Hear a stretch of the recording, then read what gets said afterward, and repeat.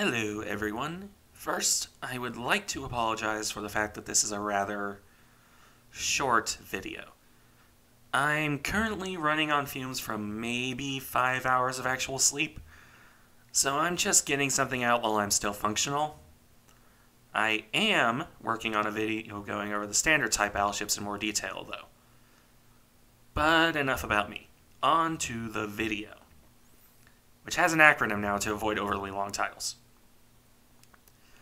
On the subject of that title, I'm sure most of my audience has either served in some form of military, has known someone who has, is related to someone who has, or just watches enough videos to get the impression from the outside of what it's like. And that quite often includes very bitter rivalries.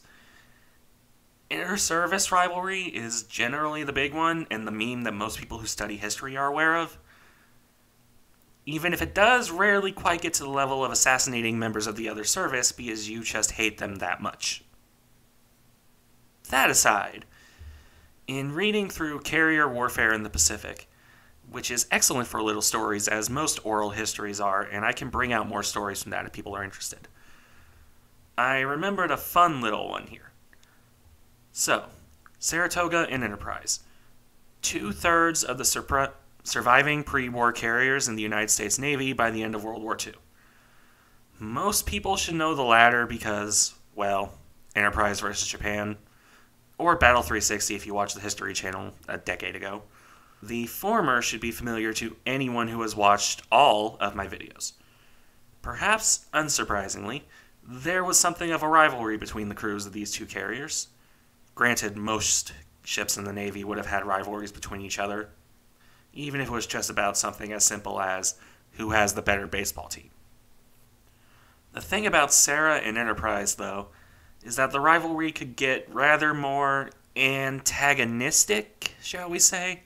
The thing to remember is that both of these ships and crews traded off who was the front line against Japan, while the other one was being repaired. That, all on its own, would be enough to set off a bit of a rivalry in that that happened when it tended to coincide with some pretty heavy fighting, and you get the recipe for conflict when the crews were on shore leave together. That is where our story from the book, told by one Roger Bond, who started aboard Saratoga, comes in. According to him, while rivalries between ships were common and could cause issues during shore leave, the rivalry between Sara and Enterprise was, and I quote, as bad as that between the Americans and Japanese.